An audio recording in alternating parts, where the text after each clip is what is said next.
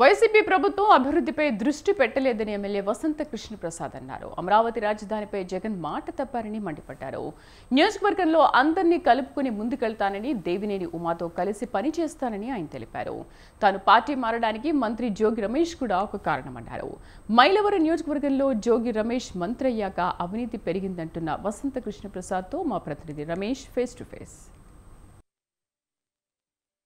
sir Congress party నుంచి విజయం సాధించారు. అయితే ఈసారి తెలుగుదేశం నుంచి బరిలో ఉండబోతూ ఉన్నారు ఇక ఆయన పార్టీ మారటానికి కానీ అదేవిధంగా తెలుగుదేశం పార్టీలో మా- మారిన తర్వాత చేరిన తర్వాత నియోజకవర్గ ప్రజల నుంచి ఎలాంటి స్పందన వస్తుందనే అంశాలు మనం ఆయన అడిగి తెలుసుకుందాం. సార్ ఈ ఎన్నికల్లో మీరు తెలుగుదేశం పార్టీ తరఫున పోటీ చేస్తా ఉన్నారు. ఇప్పుడు ప్రజల్లోకి వెళ్తా ఉన్నారు కొత్తగా. ఎట్లా ఉంది సార్ రెస్పాన్స్ ప్రజల్లోకి వెళ్తున్నారు చాలా బాగుందండి. ఎందుకంటే ఒక శాసనసభ్యుడిగా నన్ను ఐదు సంవత్సరాలు బట్టి చూశారు.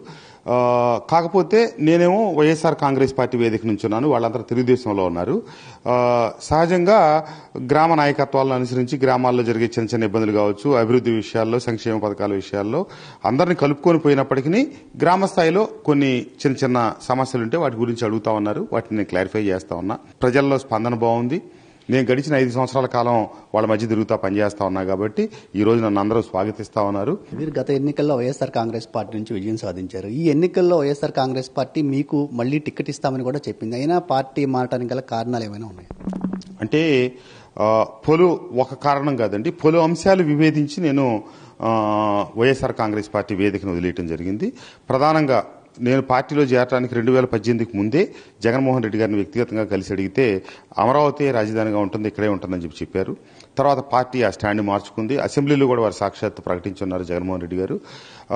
అట్లాగే నేను శాసనసభ్యుడైన తొలి రోజు నుంచి చివరి రోజు వరకు నేను పలు ప్రజా సమస్యల మీద అభివృద్ధి కార్యక్రమాలకు సంబంధించి ముఖ్యమంత్రి గారికి వినత పత్రాలు ఇవ్వటం ఆ వినత పత్రాల్లో ఏ ఒక్కటి కార్యరూపం దాల్చకపోవటం అత్యంత దురదృష్టకరం. మీరు పార్టీ మారారు మీతో పాటు ఇంతకాలం మీ వెంట నడిచినటువంటి క్యాడర్ కానీ నాయకులు కానీ ఇప్పుడు వైఎస్ఆర్ కాంగ్రెస్ పార్టీని వీడి మీతో నడిచేందుకు ముందుకు వస్తున్నారా నడుస్తున్నారా కొంతమంది వచ్చారు మొన్నే నేను చంద్రబాబు గారి సమక్షంలో పార్టీలో చేరినప్పుడు మండల ప్రెసిడెంట్లు కావచ్చు ఎంపీపీలు కావచ్చు ఎంపీపీ ఒకళ్ళు చేరారు అట్లాగే కొంతమంది సర్పంచ్లు చేరారు. ఇప్పుడు కూడా మరి కొంతమంది చేరేదానికి సిద్ధంగా ఉన్నారు. అలాగే కొంతమంది కౌన్సిలర్లు జాయిన్ అయ్యారు. రాబోయే రోజుల్లో కూడా మరి కొంతమంది కౌన్సిలర్లు మరి కొంతమంది సర్పంచ్లు ఇట్లా నాతో పాటు కలిసి వచ్చేవాళ్ళు జాయిన్ అయ్యేవాళ్ళు చాలామంది ఉన్నారు. కొంతమంది రాకపోయినా నాకు నాతో పాటు పనిచేస్తున్నారు కాబట్టి నా మనస్తత్వం నా భావజాలం వాళ్ళకి తెలుసు కాబట్టి నా మీద అభిమానంతో పరోక్షంగా సహకరించే వాళ్ళు కూడా చాలా మంది ఉన్నారు. మీరు మైలవరం టికెట్ సాధించాలంటే తెలుగుదేశం పార్టీలో చాలా కాంపిటీషన్ ఉంది. దేవినేని ఉమ్మాలని సీనియర్ నేత ఉన్నారు. కానీ ఆయన కూడా పక్కన పెట్టి చంద్రబాబు గారు మీకు టికెట్ ఇవ్వడం జరిగింది. ఇప్పుడు దేవినేని ఉమా మీతో కలిసి పనిచేయడానికి సిద్ధంగా ఉన్నారా? ఎట్లా ఉంది క్యాడర్ నుంచి టీడీపీ క్యాడర్ నుంచి స్పందన? నేనైతే పార్టీలో చేరినప్పుడు నాకు టికెట్ ఇస్తేనే పార్టీలోకి వస్తానని కాకుండా బేషరతుగా నేను వచ్చాను. తర్వాత చేరిన తర్వాత కూడా నేను చెప్పాను నాకు టికెట్ ఇచ్చినా ఇంకోళ్ళ టికెట్ ఇచ్చినా నేను పనిచేయడానికి సిద్ధంగా ఉన్నానని చెప్పాను. తర్వాత తదనంతర పరిణామాల్లో ఈరోజు నేనే అభ్యర్థి అయ్యాను. ఉమా గారు నాకు తెలిసి పార్టీ లైన్లోనే ఉన్నారు.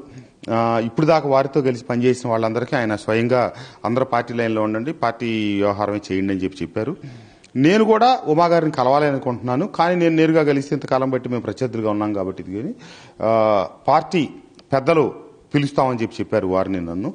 పిలిచిన రోజు వారి సమక్షంలో క- తప్పకుండా కలుస్తాం.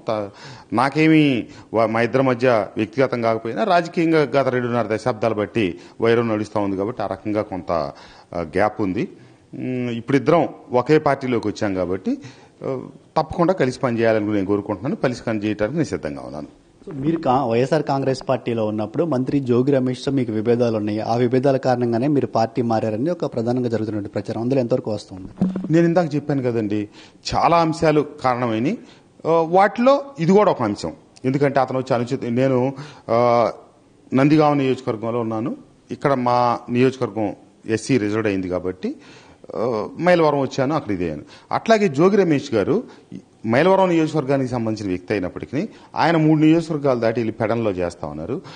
నేనెప్పుడు నందిగామ నియోజకవర్గంలో ఇక్కడ పార్టీ వ్యవహారాల్లో ఏళ్ళు పెట్టి వాళ్ళకి ఏ రకమైన ఇబ్బంది నేను కలిగించాల. వచ్చే ఎన్నికల్లో మళ్ళీ తిరిగి వైఎస్ఆర్ కాంగ్రెస్ పార్టీ అధికారంలోకి వస్తుందని ఒక ధీమా వ్యక్తం చేస్తున్నారు. కానీ అలాంటి సందర్భంలో కూడా మీరు అధికార పార్టీ నుంచి ప్రతిపక్షమైన తెలుగుదేశం పార్టీలోకి వెళ్ళారు మళ్ళీ వైసీపీ అధికారంలోకి వస్తుందని చెప్తున్న మాటల్లో ఎంతవరకు నిజం ఉంది? వందకి వంద పర్సెంట్ చంద్రబాబు నాయుడు గారి పవన్ కళ్యాణ్ గారు బీజేపీ కూటమి రేపు రాష్ట్రంలో అధికారంలోకి రాబోతా ఉంది. ప్రజలు ఈ జరుగుతున్నటువంటి కక్షపూరిత వాతావరణం కక్షపూరిత రాజకీయాలు అభివృద్ధి లేని ఈ పరిస్థితుల్ని ప్రజలు ఏమాత్రం కోరుకోవట్లేదు. అభివృద్ధి కావాలని కోరుకుంటా ఉన్నారు. వాళ్ళ బిడ్డల భవిష్యత్తు కావాలని కోరుకుంటా ఉన్నారు. యువత అందరూ కూడా ఈరోజు కూటమి వైపు చూస్తూ ఉన్నారు. ఖచ్చితంగా గెలవబోయేది కూటమే అధికారంలోకి రాబోయేది కూటమే. మైలవరం నియోజకవర్గంలో ఒక బీసీ అభ్యర్థిని మీ పైన పోటీ పెట్టింది వైఎస్ఆర్ కాంగ్రెస్ పార్టీ. బీసీ సామాజిక వర్గాల నుంచి మీకు ఎట్లాంటి రెస్పాన్స్ ఉంది? గ్రామీణ ప్రాంతాల్లో పార్టీల పరంగా వెళ్ళిపోతారు. ఎవరైతే సమర్థులు లేకపోతే ఎవరైతే మనకి అండగా నిలబడతారు ఎవరైతే మనకు మంచి చేస్తారనే వాళ్ళనే దృష్టిలో పెట్టుకుని వెళ్తారు. బీసీ అనే వ్యవహారం ఈ రోజు కొత్తగా ఏం చేయలేదు. గతంలో కూడా ప్రయోగం చేశారు రెండు వేల పద్నాలుగులో. ఆ రోజున ఆయన ఓడిపోవడం జరిగింది. ఈ రోజున మళ్ళీ ఒక వ్యక్తిని తీసుకొచ్చి పెట్టి దాన్ని రాష్ట్రం అంతా ఏదో మేము సామాన్యుడిని పెట్టాం అది పెట్టాం. ఇక్కడ సామాన్యుడికి శ్రీమంతుడికి మధ్య యుద్ధమని పేదోడికి పెత్తందారుకి మధ్య యుద్ధమని ప్రజలకు తెలుసు.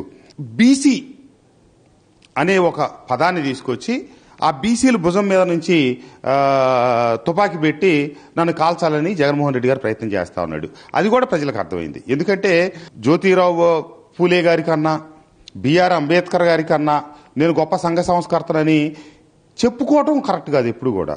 కొద్దిగా ఆరు మాసాలు కనుక ఇంకా ఎలక్షన్లు ఆలస్యమై ఉంటే చింతలపూడి ఎత్తిపోతల పథకం పూర్తయ్యేది. నందిగామ తిరువూరు మైలవరం నూజివీడు ఈ నియోజకవర్గాలన్నింటికి వరప్రదాయమైన చింతలపూడి ఎత్తిపోతల పథకాన్ని ఆపేసినందుకు వైఎస్ఆర్ కాంగ్రెస్ పార్టీకి ఓట్లు వేయాలా అమరావతిని ఈ ప్రాంతం నుంచి తీసేశారని వైఎస్ఆర్ కాంగ్రెస్ పార్టీకి ఓట్లేయాలా? ఇవన్నీ తీసేసి ఈ ప్రాంతానికి తీరని అన్యాయం చేసిన వైఎస్ఆర్ కాంగ్రెస్ పార్టీలో పోటీ చేసి మేము ఎందుకు పోటీ చేయాలి? ఈ ప్రాంతానికి అన్యాయం చేసిన పార్టీ నుంచి.